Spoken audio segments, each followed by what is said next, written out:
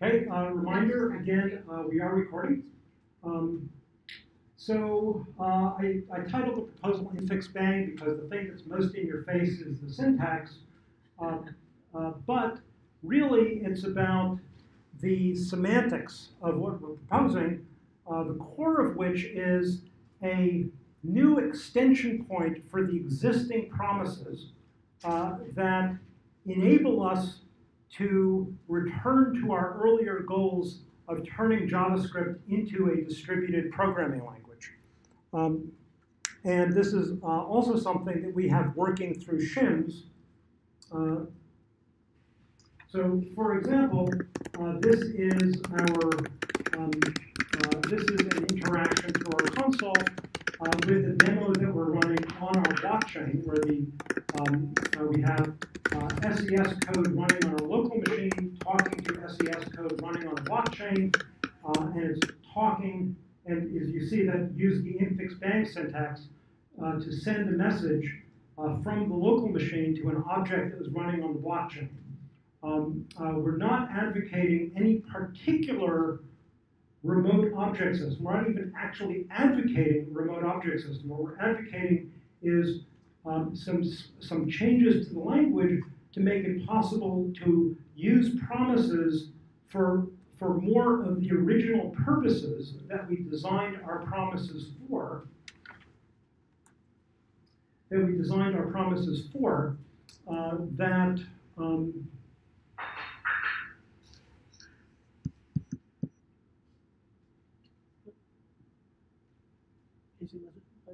Yeah, um, uh, that we're now trying to get back to. So uh, let's recap some of the history. How did we get to ECMAScript 6 promises? Those promises are essentially built uh, uh, almost completely out of the behavior of then. Everything else is kind of decoration around the behavior of then. Uh, and then was, in the initial conception that led to ECMAScript promises, then was, was one of several features and was not the central feature.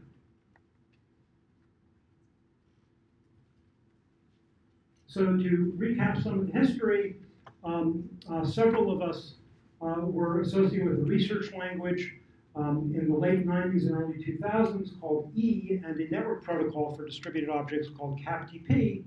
Uh, and we did a, we found it very pleasant to write distributed applications spread across mutually suspicious machines uh, using this paradigm, starting with uh, Electric Communities Habitats, uh, CHIPS creation, uh, which was a distributed uh, virtual world, uh, Second Life-like but federated.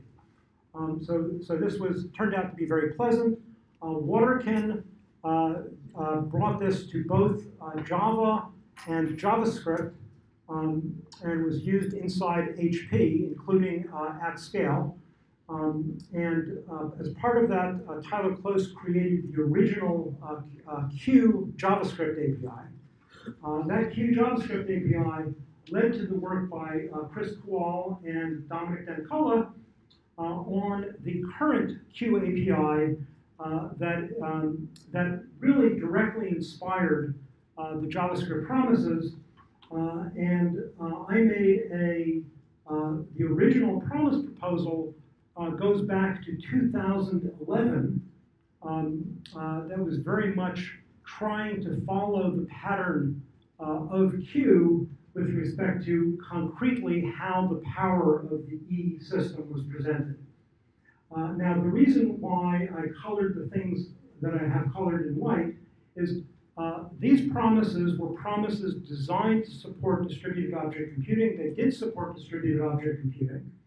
Um, uh, and they did it with a feature called promise pipelining that I'll be coming back to explain. Uh, Q connection was the extension of Q that was built to do distributed objects. Uh, it successfully did that over a post message within the browser, uh, over XHR between a browser and a server. Um, uh, I think it, it, also had a version that could use uh, WebSockets as a transport. I don't remember. Uh, but the reason I colored it yellow is in the absence of weak references, it's not practical. In the absence of weak references, what you have to do to do distributed objects on top of JavaScript ends up leaking distributed garbage very, very quickly. So that's essentially why now is the time to revive the rest of this, is because, um, because of the return of weak references. Um, Dean went off to Microsoft to do the Midori project, which is uh, uh, essentially the same computational model uh, in a variant of C Sharp they called M Sharp. Uh, they used it at scale. It had promise pipelining.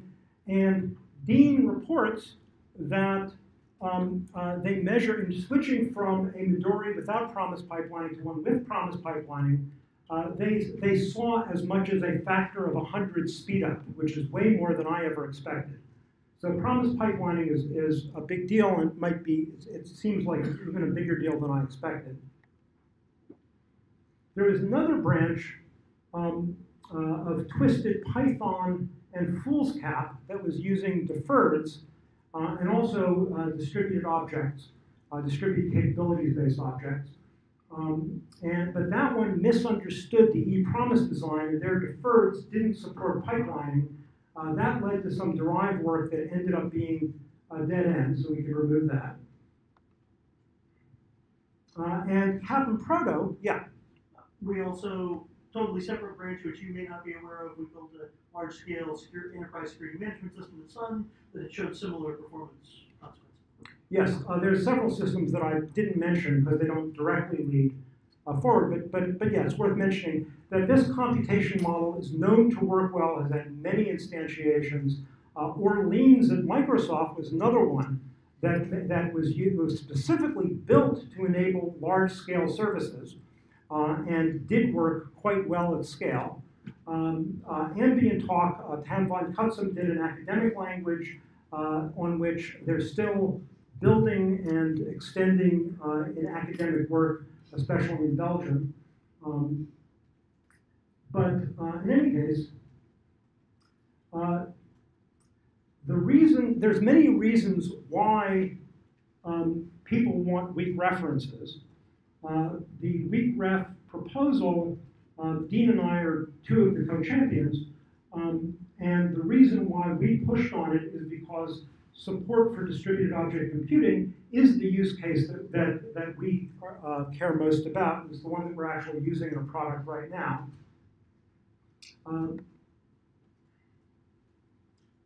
so that plus the infix bang proposal I'm about to, exchange, to explain, uh, these elements together lead to a very pleasant ability, the ability to create a very pleasant distributed JavaScript. Again, I'm not proposing the distributed JavaScript, I'm proposing the hooks that enable people to build their own distributed JavaScript by composing these hooks. And I want to emphasize that the Q library in particular um, uh, I went to uh, NPM uh, just uh, like two days ago to prepare for this talk, and took this screen, screen snapshot. Uh, so NPM, even though as far as I can tell, it hasn't been updated in like two years, uh, continues to have, I mean, this says 7 million weekly downloads. I don't, I'm not sure if that really means what it sounds like it means, but, um, but, um, but clearly Q library with the things that it has and promises beyond platform promises continues to be used years after platform promises have been introduced.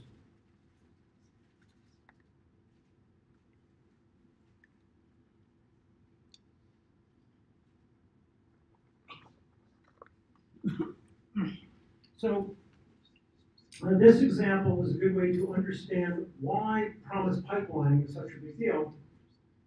Uh, let's say the disk is a local promise for a remote object representing a disk with directories. You use the bang syntax to send it the message open directory. The way to interpret bang is bang is like dot, but where dot does an immediate invocation on an object that must be an object, not a promise for an object, it must be local, Bang does an eventual send. That's our terminology, immediate call versus eventual send. So uh, every place where you could write a dot, if you put a bang there instead, you can do it. Um, you can you can basically still invoke the open directory method on the remote object with the argument foo.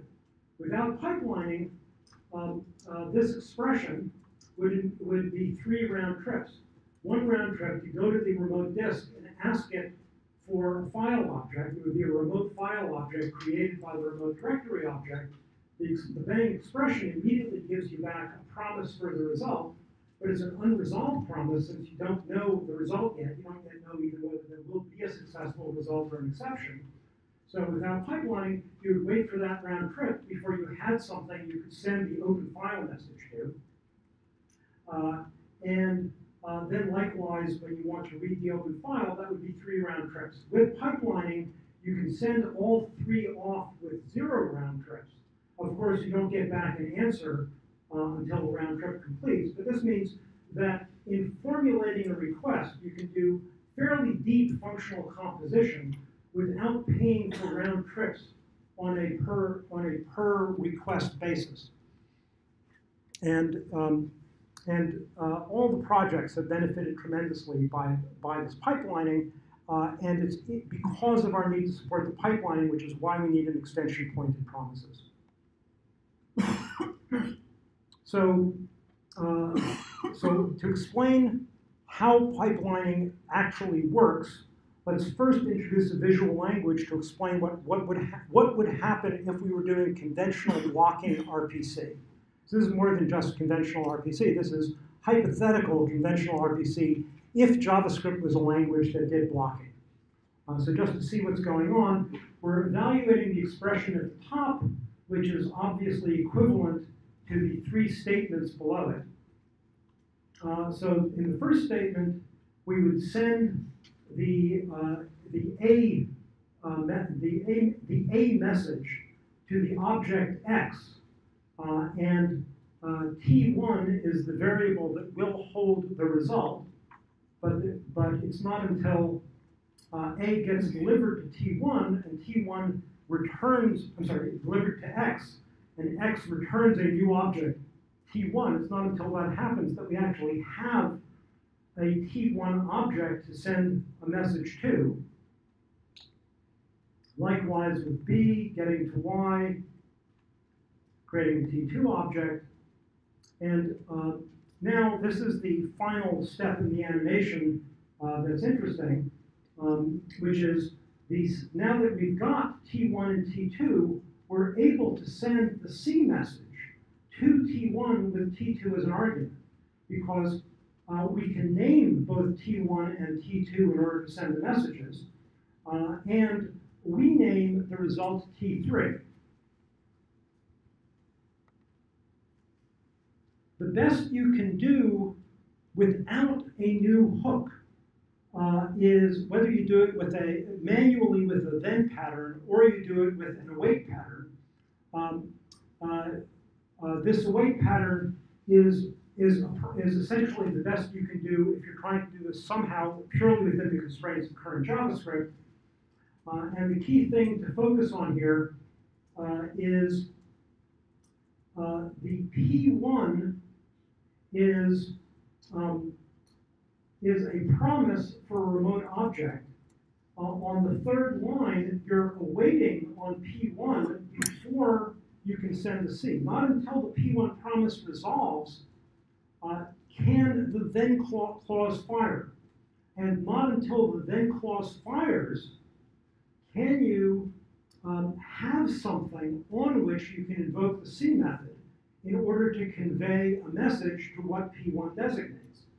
So in JavaScript today, this same diagram is approximately the best you can do.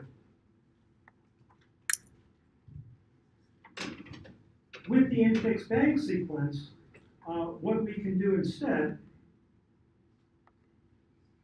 is while the A message is still in the air before it is landed, we already have an unresolved promise for what the result of uh, x.a will be. Um, so we can already name the, the, the result prior to having the result. And likewise, of course, with, uh, with the B message sent to Y,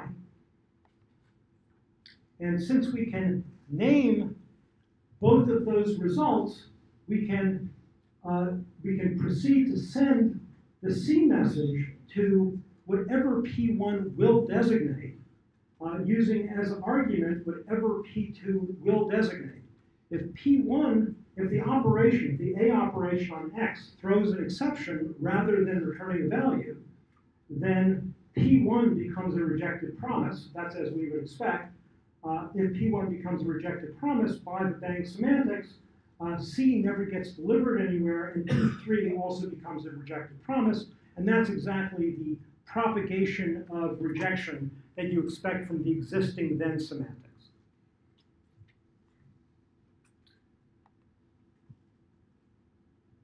So this is what it looks like in Q as written today, uh, which is uh, we have this, um, uh, we add to promise.prototype uh, a set of methods. I'm showing here the post message. Um, uh, and post message is how you do a, a eventual invocation. Uh, and in order to uh, write this manually, you have to manually state what the method name is. You have to manually provide the list of arguments. And it's really terribly verbose and unpleasant. And as the statistics on Q show, people do this if this is the only choice. But given the strong analogy between dot and bang in terms of what you think about what's going on, giving syntactic sugar to this makes the programming experience very pleasant, and we're experiencing that. The expansion of bang actually always does a promise resolve on the left argument, and then invokes one of these methods on what is now guaranteed to be a genuine promise. The promise.resolve um, guarantees that its output, if successful, is a genuine promise, and it guarantees that no matter what the operand is, it will not cause code that, that it provides to get run immediately. So by the bang syntax is also protection against reentrancy if the operands on both the left and right of the bang are, are, are untrusted operands, you can nevertheless go ahead and invoke them knowing they can't execute code during the current turn. Everything they might do, whether local or remote, will happen after this turn is complete. So there's um, the same kind of, we're leveraging the protection that we already designed into uh, both resolve and then. And as shown here, uh, the, there's essentially four operations that we do with dot, uh, which is invocation, um, uh, uh, getting a property, setting a property, and deleting a property. Um, and what Q has is an API that supports each of them, uh, and the original 2011 proposal proposed the bang syntax for each of them.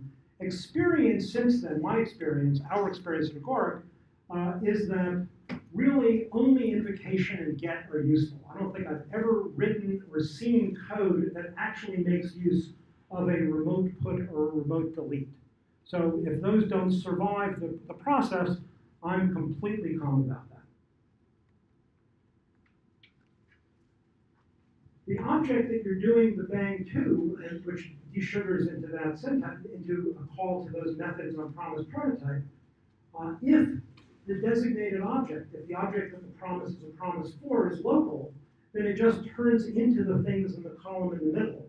So um, you, know, many people react to the, to you know to the to the bang proposal is why don't you just do, and then they'll show us the code in the, in the column in the middle, and the reason is the column in the middle, for reasons I've explained, cannot support promise pipelines because the then can't fire until the promise is resolved. So if it's a handled promise, uh, a promise created through our extension point, then those same methods on promise prototype instead invoke the uh, methods on the corresponding handler shown on the right.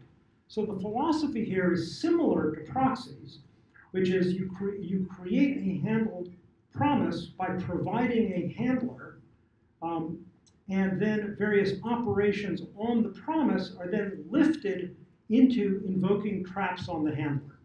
Um, uh, these method names on the handler come from the original Q, Q API from Tyler Close, uh, and that was uh, motivated uh, for Tyler by uh, Tyler's major use case in Waterken was he actually turned these into HTTPS RESTful method, RESTful uh, XHR invocations uh, to RESTful JSON services. Um, I'm completely calm about changing the names both on the left and the right. I only care here about the semantics. Likewise, I'm, I'm, I'm calm about the infix bang syntax. In fact, it has a conflict with TypeScript, so we know the infix bang syntax uh, is not going to survive. Uh, it's not, even though there's no, even though in theory we could proceed to standardize it anyway, I think we're all agreed that uh, we'd rather avoid a conflict with that use in TypeScript. Um, this is the entirety of the new hook that we propose.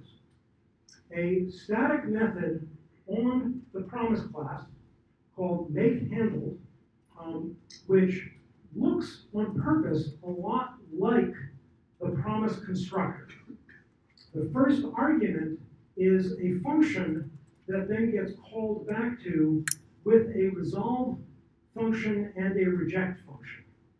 Uh, but we have this additional argument, which is the unresolved handler. This makes an unresolved, until resolve or reject is called, this makes an unresolved promise as you'd expect, but, and its then method is identical to what it is today. This, this extension does not touch the behavior of then. So all the existing behavior promises, there's nothing in this proposal that even touches the existing behavior. So there's not there's not even a risk of breaking upwards compatibility. Mark, you're already bringing up against your um. Ah, okay. And there's so, a lot in the queue. Ah, okay. So the, that's the unresolved handler, um, uh, and then the resolve function that gets passed there, if it's called with a, resol- a fulfillment, a non-thenable, and a handler, that then the fulfillment can be a local stand-in for a remote object, and that's the resolved handler that then handles those methods for further things. And uh, abstract syntax, uh, concrete syntax, uh, pending uh, Waldemar's reaction, uh, and uh, we also uh, already know that uh, we need to uh, see how this composes with optional chain, which is not shown here. And those are the URLs, and I'm ready to take questions after I turn off recording.